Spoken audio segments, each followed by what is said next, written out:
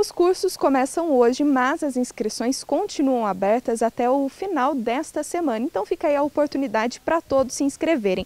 A Silmara vai explicar para a gente quais são os cursos que ainda estão disponíveis.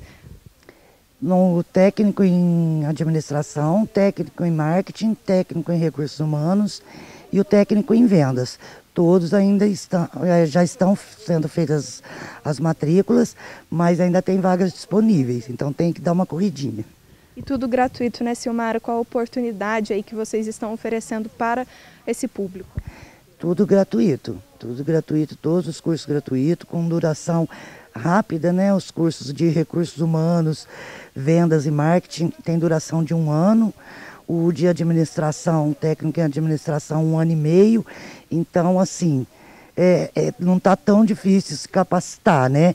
Passa rapidinho e são cursos muito bons, tem um corpo docente muito empenhado, muito comprometido, pessoas que, é, além de dar aula, eles trabalham na área, né? Então tem bastante experiência para trocar com os alunos, excelente. O perfil dos nossos alunos são desde os 18 anos, né? Tem alguns de 17 que são o pessoal que ah, já ainda está cursando o ensino médio, faz o, o técnico paralelo. E também tem é, alunos assim que já estão no mercado de trabalho e buscam é, uma promoção na, na empresa ou bus, bu, estão buscando a empregabilidade e alunos assim já tem o seu, seu negócio, né? E vem para se atualizar, se capacitar mais e se atualizar no mercado. Obrigada, Silmara, pelas informações. E justamente por conta da pandemia, esses cursos podem ser realizados de forma híbrida, ou seja, o aluno escolhe se vai ser presencial ou online, não é isso, Michele? É isso mesmo. Então, na, na hora da matrícula, o aluno terá a opção de escolher se ele vai preferir vir é, presencial, quando for possível, ou se ele vai preferir ficar de forma remota, online.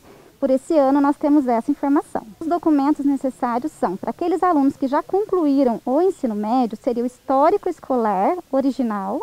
Para aqueles alunos que ainda estão concluindo a partir do segundo ano do ensino médio, é a declaração de escolaridade original.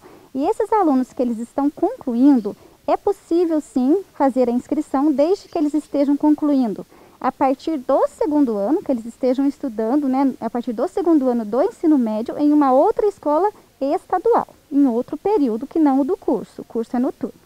E quais são os documentos que necessitam de cópia? É, Xerox é, seria de CPF, RG, comprovante de residência e certidão de nascimento ou casamento. Esse curso, como a gente disse, então, de forma online ou presencial, o aluno pode escolher aqui na hora da inscrição, né? Isso. Aí na hora da inscrição ele vai optar, né, se ele prefere vir quando for de forma escalonada, né, o ensino presencial, ou se ele vai preferir ficar de forma online. Perfeito, muito obrigada pelas suas informações. Então fica aí o convite para o pessoal procurar aqui a Escola Polivalente para fazer a sua matrícula. Com imagens de Silvano Alves, Alice Dionísio.